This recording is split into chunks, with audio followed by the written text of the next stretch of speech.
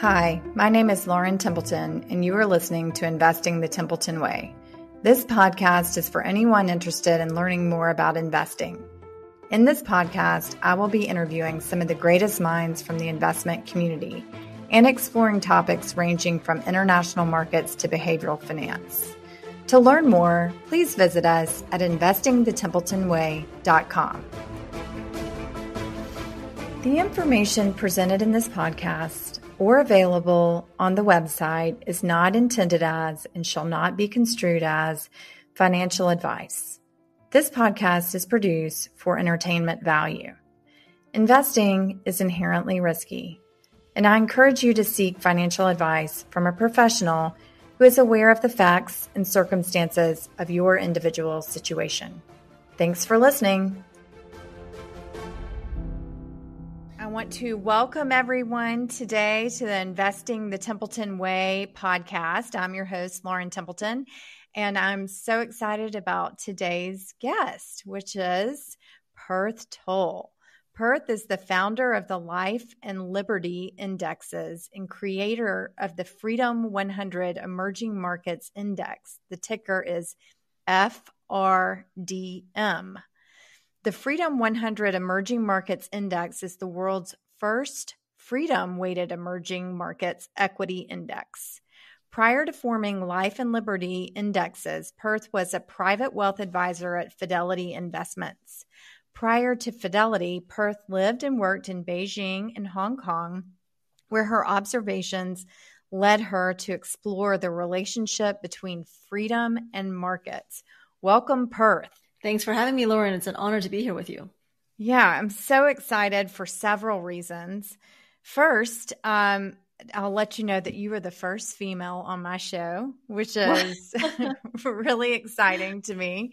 There are not a ton of women in the industry. I just spoke on Sunday night to a group of high school women who are interested in finance and investing and and had to share wow, the news cool. with them. Yeah that um, you know although women represent 46% of employees in financial services only 16% in executive positions so mm-hmm. it is mm-hmm. so great to have a successful female on the podcast but the second reason um, that i'm so excited is i love what you're doing it's such a unique unique product having a thematic etf and i happen to love the theme which is freedom my listeners may not know, but I know you do, that one of the main funding areas of all three of the Templeton foundations is individual freedom and free markets. My great uncle, Sir John Templeton, valued and believed in individual freedom and free enterprise because he thought it unleashed human progress and a number of his investments overseas capitalized on this as economies opened up in his lifetime. So please spend a few minutes telling me about your background and what led you to create Life and Liberty indexes and the Freedom 100 Emerging Markets Index. Yeah, thanks. And and I do know about Sir John Templeton's, um, uh, you know, words and actions to promote freedom around the world. So we maybe you should post his letter with this podcast as well once you uh, once we're done here. But that that is yeah something that you made me aware of and i and i so appreciate that. Yeah that's a great idea and i'll add that to the show notes. So i grew up in both china and the us and i was born in beijing and then i came to the us around age nine and went back to live in hong kong after college. And when i went back to hong kong i traveled throughout mainland china while i was there uh, Beijing, Shanghai, Shenzhen, and so forth. And I saw the difference that freedom made in my life as well as in the markets in these various places. So the Hong Kong market being different from the mainland market at the time and the US market. So I realized that policies and governance have an impact on this is the society and also on, on markets in in a, in a in any given country um, one of the issues that really hit home with me was the one child policy in China. And this is a policy that said, you know, you every family can only have one child. And it was instituted from the year that I was born to 30 years after that. then they relaxed it to two children and now to three children. Mm-hmm. But because of the one child policy being there for 30 years, there's 30 million missing women in China due to official Chinese estimates. And this policy changed the entire culture of my generation. So now that they're allowed to have three children, most people are still only having one or maybe none at all. And China is in the worst demographic crisis in the world. So that is the policy that most had an impact on me because I saw the profound impact it had on my generation and the women in my generation. Yeah, of course. And I've heard you note before that this policy and the impact that it's had on your generation has really impacted China in, in several ways that people might not think of. First of all, um, maybe China's more militarized than it would be without this policy. Yes. And secondly, that it has promoted human trafficking within China, which is something I never considered, but makes so much sense that the gender imbalance would do that. Yes. And so that's an issue that is a personal freedom issue, you know, reproductive rights. But also, I think economic freedoms are important. And, um, you know, our data providers, the Cato Institute and the Fraser Institute, like to say that freedoms are like parts of an automobile, that you can't have a steering wheel without a transmission. The car still won't run. So you have to have both personal and economic freedoms. And sometimes these personal freedom issues can act as a leading indicator of where economic freedoms are going in a country. And that is what happened with China. We saw these personal freedom issues, personal freedom deteriorating in China in the in recent in the recent past.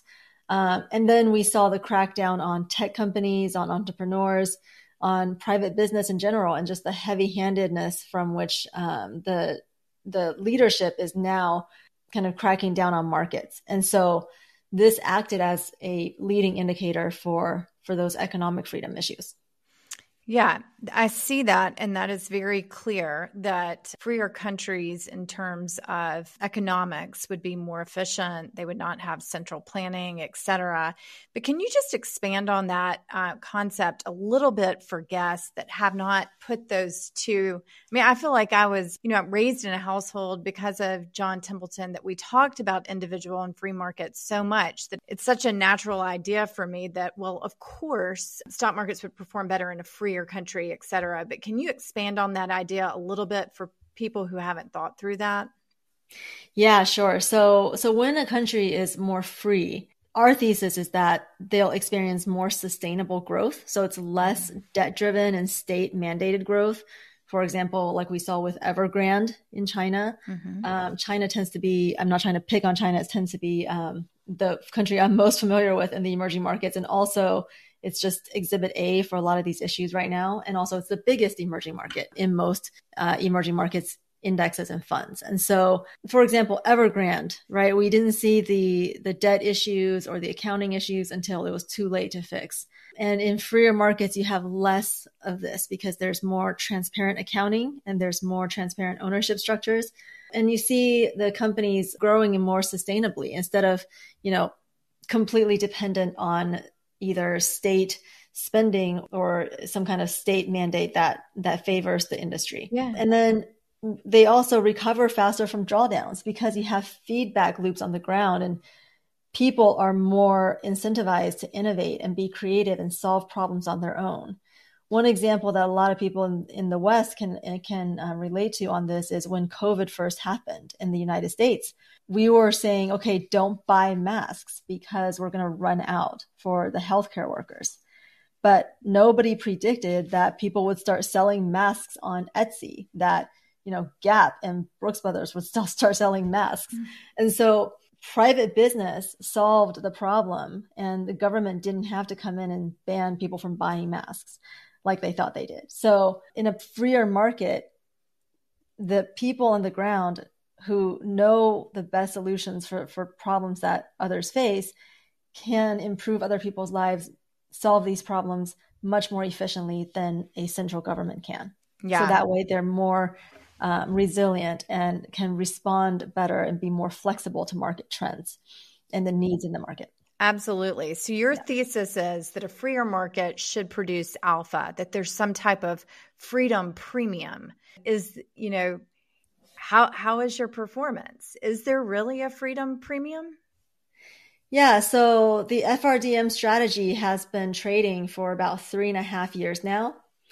Um, and if you compare it with uh, broad emerging markets market cap weighted indices, which typically have about 40% in autocracies like China, Russia, and Saudi Arabia, Russia now having been marked to zero. So we do have outperformance in all time periods that we can see. So year to date, we're outperforming by about, we're down half as much as the broad based uh, market cap weighted emerging markets indices.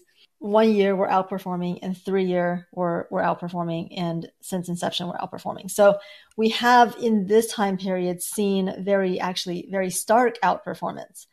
Um, if you compare us to something like EEM, VWO, or IEMG. And I think that's because of the extreme kind of events that we've had over the last couple of years first COVID and then the recovery from COVID, which freer markets outperformed in the emerging market space.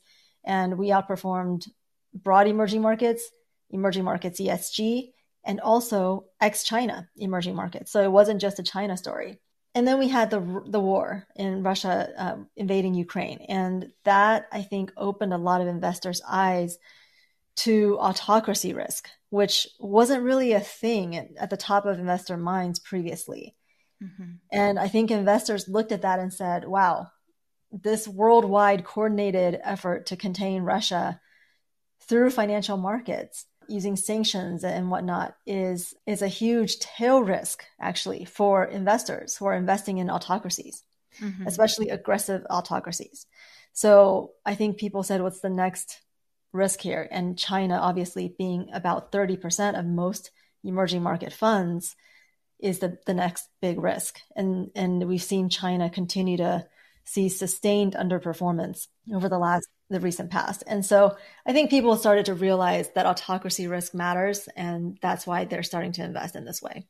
Yeah, well, congratulations on the great performance. I'm not surprised that there is, or you're seeing a freedom premium. You know, do you want to comment a little bit about having a market cap weighted index in a developed um, market versus a market cap weighted index in an emerging market? Because, you know, in developed markets, there's there's not so much of a need to consider political risk. In emerging markets, you definitely need to consider political risk when you're investing.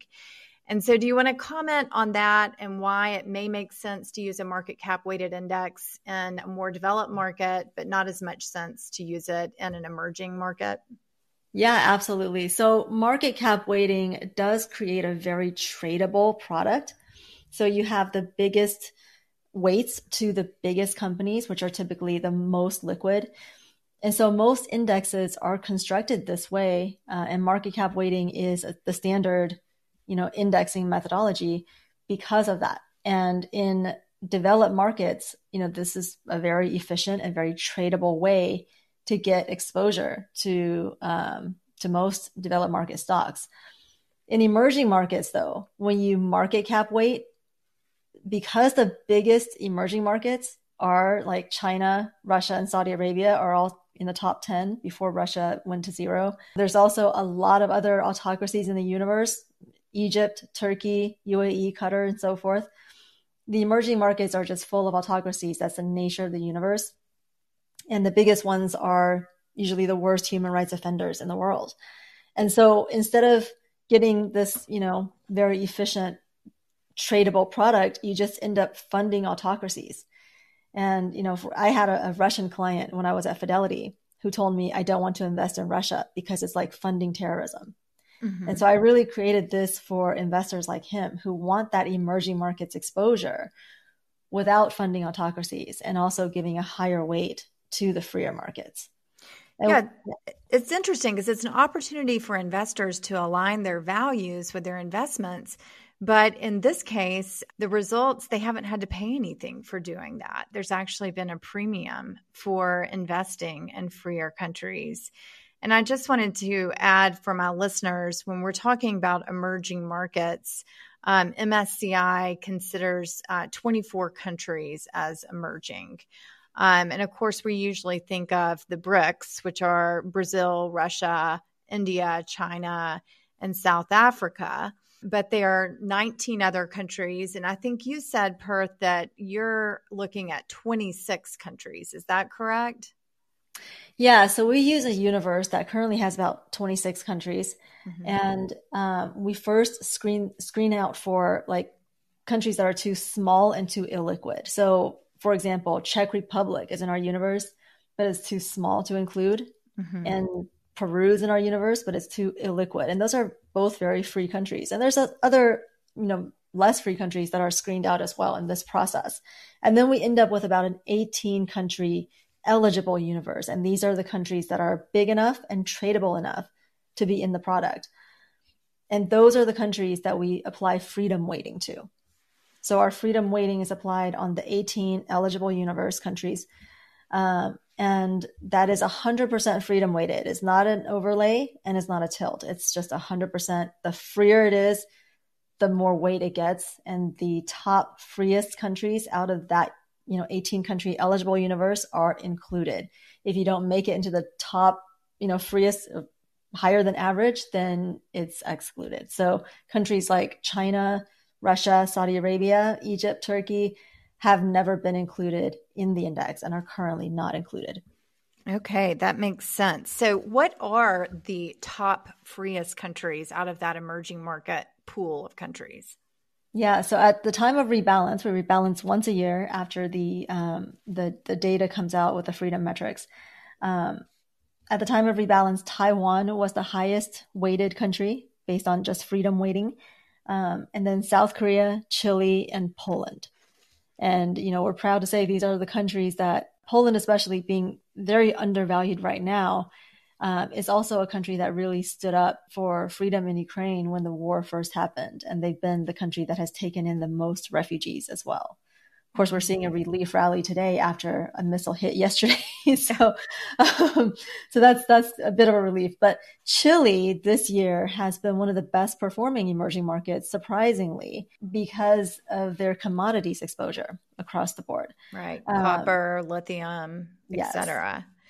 Yes. Uh, but Chile just elected a leftist president, right? That plans to steer the economy away from market-friendly policies. So, how how would you anticipate this affecting the ranking and the ETF in the future?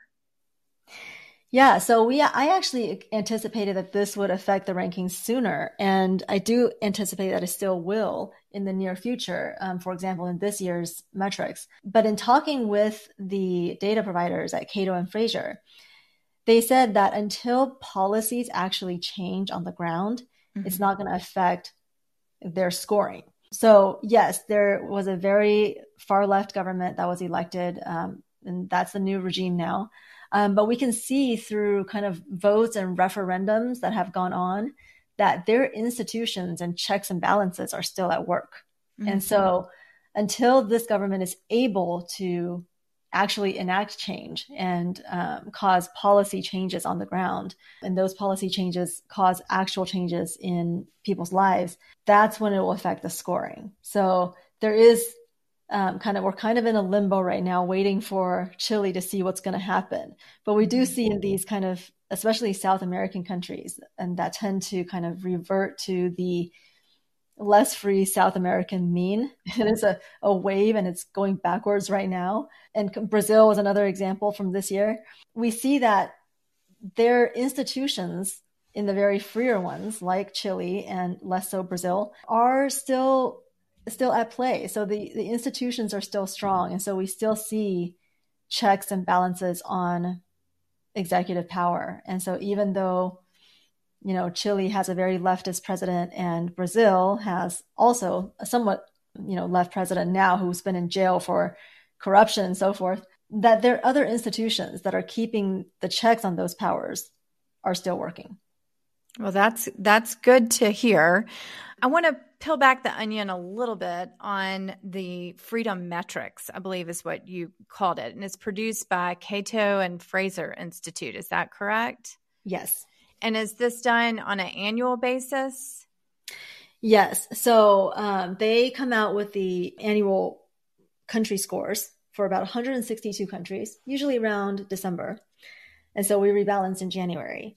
And um, these guys, the reason why we use this particular data set by mm-hmm. Cato and Fraser is because one, it is the most complete data set out there. If you use something like Freedom House, which we do use in one of our rules, and I'll talk about that, but um, Freedom House is a committee. It's a black box. There's no transparent methodology that goes behind their index um, and their data set. And Cato and Fraser, on the other hand, have a transparent methodology. You can see exactly what third party data they're using and how they're using it and how they're weighted. So we like that transparency in the methodology. We like that it's completely objective and third party and quantitative. The other thing I like about this data set is that they don't, Cato and Fraser are organizations that don't take any government grants from any country. So we saw the debacle with uh, World Bank in China. Are you talking about the ease of doing business report? Yes. Yes. so that report, we were actually using that report. That was part of the 79 variables. Oh, no. That, yeah, that went into Cato and Fraser's uh, country scoring. And we had to, you know, they had to find substitutes. So, so for our listeners, we should say the Ease of Doing Business report was a report created um, by the World Bank Group and it was discontinued recently. I think sometime yeah. in 2021 um, following the release of an independent audit of data irregularities. Um, but I think, you know, leadership at banks were pressuring experts to manipulate the results, et cetera. So that report went away, and a lot of people relied on this report. In fact, that's one of the things the Templeton Foundation is is talking to people about. What do what do we do now that the report has gone away? So um, that's the background. Yeah, and that was mostly because um, China was a funder of World Bank. And okay. so they were pressuring World Bank to manipulating their kind of scoring. so, mm-hmm. um, so that's why it's best to use a, uh, a data set that is not funded funded by any yeah. uh, any government organization. And you know, using Freedom House an example again, it is funded by the U.S. government mostly. So the, mm-hmm. even U.S. government, we try to we try to be completely unfunded by governments. so um, so that's why I used this particular data set, and um, we are completely independent from them, so we don't have any influence in the scoring at all. Well, what happens if something something happens on the ground in one of these countries in between the report being released and the metrics being refreshed? How do you monitor that? I noted in a podcast that I'd listened to that you were on, you talked about Turkey in 2018. So can you kind of walk us through that scenario and what yes. might happen? So this is a passive indexing strategy. We don't make uh, like ad hoc, you know, changes throughout the year in mm-hmm. response to things that happen. So, for example, with you know Chile and their ref- referendum, we didn't you know increase exposure after the vote went pro freedom. You know, with Brazil when the when they had an orderly election and that was that was good, um, we didn't increase exposure. So mm-hmm. we throughout the year do not make changes. However, at the time of rebalance, if there has been a very drastic decrease in freedoms in any particular country, we do have a rule called the freedom momentum decline rule.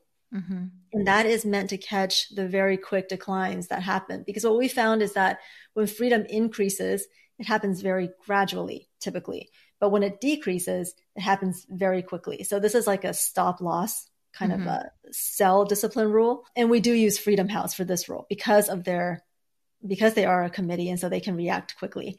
Um, so so for that particular rule, you know, um, it our rule is if it falls more than five points on the Freedom House scale in any given year, that even if a country is included, it would get excluded out of the index. So we would drop the country in that case. And Turkey is the only country that has ever triggered this rule in the index in 2018. That was before the ETF started trading in 2019. So since the ETF started trading, we have not um, had this rule triggered by any country. Well, that that makes a lot of sense to me. Can you give the audience an idea of what the metrics are that that Cato and Fraser are looking at? Um, because you said there were 79 of these different yes. inputs. What what type of things do they look at? Yeah, so I categorize these into three buckets civil freedoms, political freedoms, and economic freedoms. Civil freedoms are things like terrorism, trafficking, torture, women's rights. There's five proxies for women's rights, including a missing women proxy. Mm-hmm. Um, that accounts for like what we were talking about at the beginning here. Political freedoms are things like independent judiciary, civil procedure, criminal procedure, freedom of speech, media expression, religion, assembly, and so forth. We saw some of these freedoms erode during COVID in a lot of countries. So that is the kind of the category that's catching those erosions in freedom.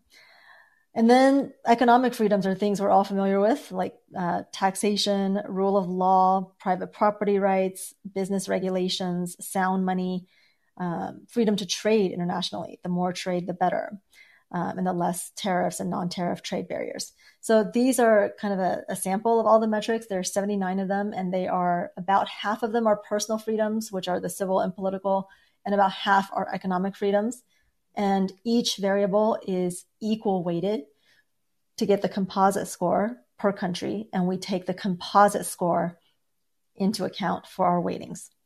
Well, thank you for explaining that. I was about to ask how COVID impacted these oh. um, rankings. Yes. So that was that was basically impacting, you know, things like freedom of assembly, freedom mm-hmm. of movement, and so forth. So I'm assuming, um, did it impact all countries the same, or were some countries more impacted uh, by their COVID policies? Yeah, definitely some countries were more impacted by others. And um, it was a lot of the developed markets at first. But now, as you see, like in China, for example, with Eat Zero COVID, we're seeing a lot more drastic actions in some of these emerging markets as well. Sure. So once you have applied this ranking screen, what do you do? Are you going in and buying individual securities? Yes. So we do buy the top 10 largest, most liquid securities within each included country. Um, we exclude state owned enterprises just to bring the economic freedom theme all the way through.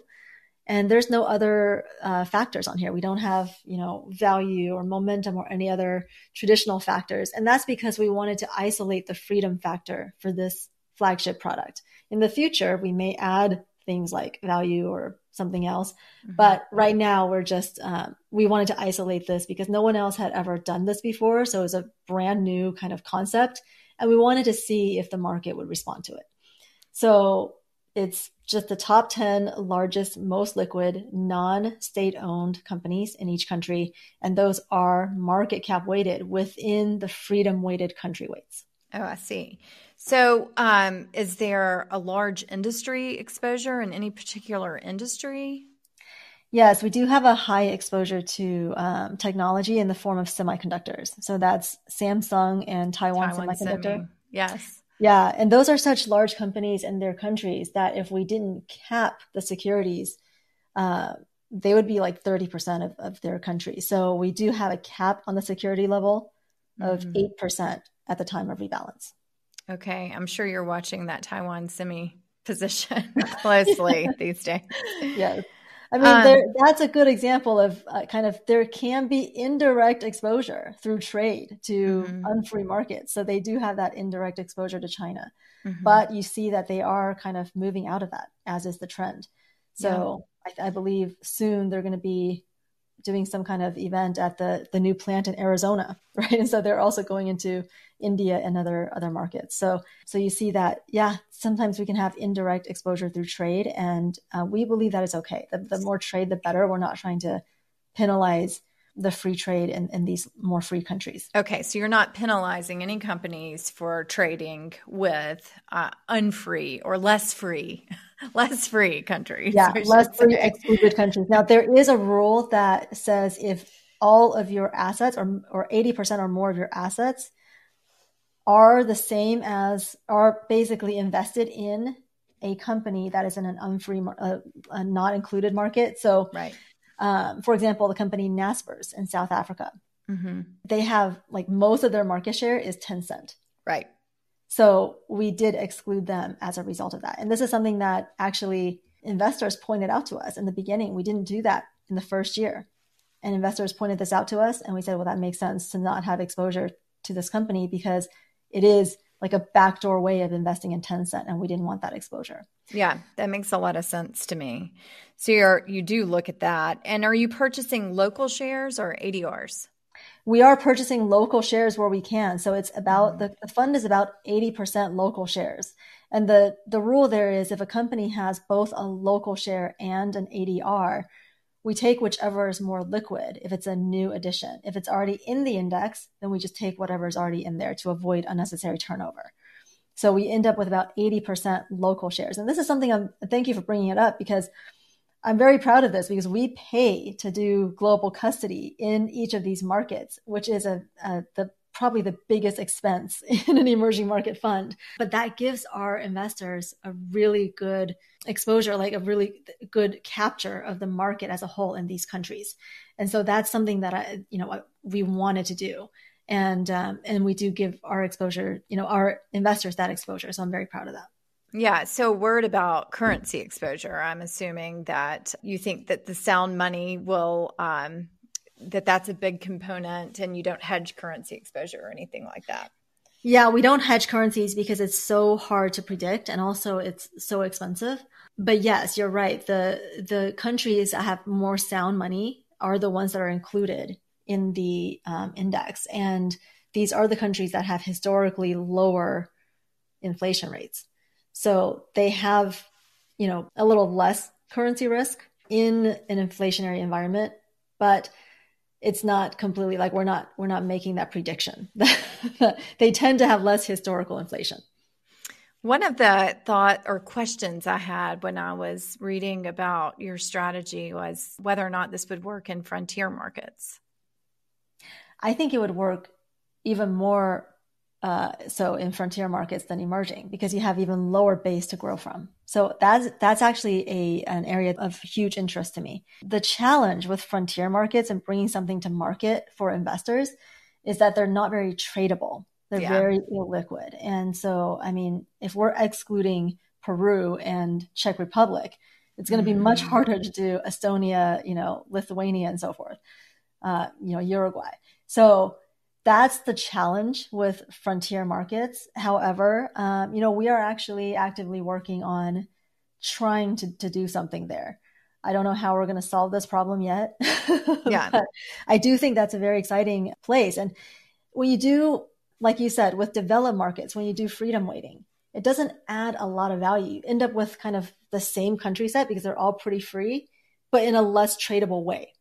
right. But when you do, you know, freedom weighting in frontier markets, you get this beautiful cascade of just very free countries. And, you know, some of these countries are freer than developed markets. So countries like, like Estonia, Uruguay, um, some of these other Baltic countries, they are, you know, ranked higher in freedom score than like United States or Canada. So, um, so that, that is a very exciting place because there are some of these very free countries but most people don't invest in them. Most people invest in like uh, Kuwait or Vietnam, you know, some of these less free. Although I do think that Vietnam is is set to benefit a lot from the China decoupling that's going on. Mm-hmm. It's fascinating. I'd love to stay in touch with you on anything you're doing in frontier markets. So, do you think the world is becoming less free or more free? Uh, this it happens in waves. So right now we're in a wave of kind of a lot of nationalism, a lot of, you know, super far right wing candidates winning elections, like like we just, you know, like we've been seeing in um, Europe and also, you know, in some South American countries. Although the that's that tide is turning now as well. A lot of populism popping up, and so we've been seeing kind of waves seemingly going backwards. You mentioned Chile going more mm-hmm. leftist, but throughout the course of history, freedom has definitely been on an up, upside upside uh, trend. So uh, it's definitely become much more free in the you know than than in historical past. So I think it's kind of like the stock market, where in the long run, you know it it's you know becoming much more free, but in the short run, we can go backwards sometimes. Sure. Do you have a good example of a country that has moved up the freedom ranking a lot? And did it actually correlate with higher investment returns? Yeah. So actually, Taiwan used to be this military dictatorship not too long ago. And they have really now become a beacon of democracy in their region.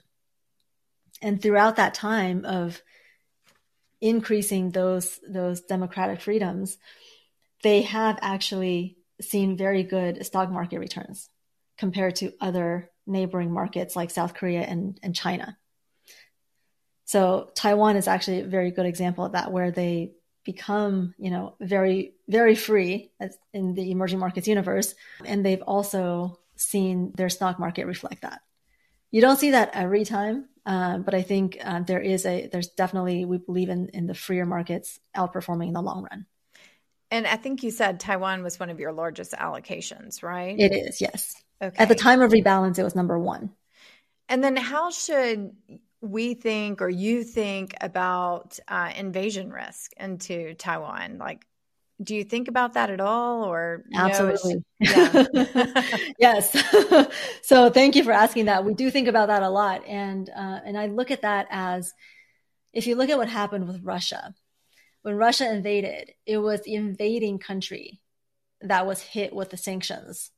Mm-hmm. And with china you know the a lot of countries are in a united front now already preparing for this and already you know knowing they already know what's going to happen if if they invade.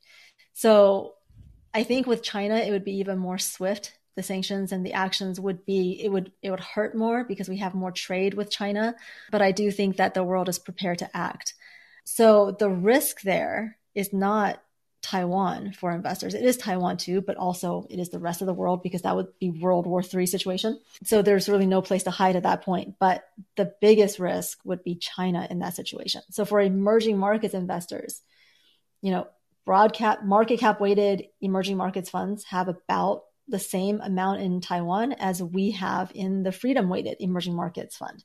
So the Taiwan allocation is the same, but broad emerging markets funds that have market cap weighting have 30% in China.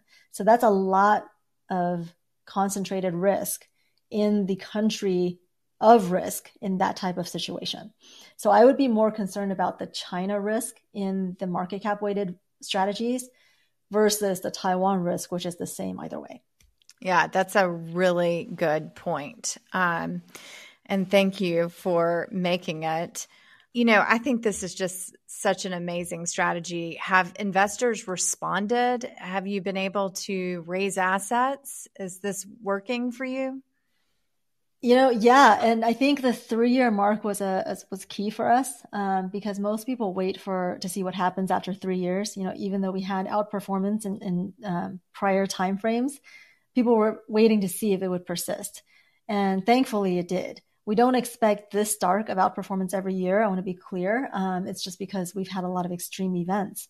Although we do expect freer countries to outperform in, in the very long run. Um, the short run, you know, anything can happen. So this year, I believe we've netted about 180 million. So we're currently at 250 million. So we more than doubled our assets in 2023. And most of that happened in March, right after the invasion of Ukraine. So I think that's when people really opened their eyes to autocracy risk. And also that's when we were approaching the three year mark and it just kind of coincided.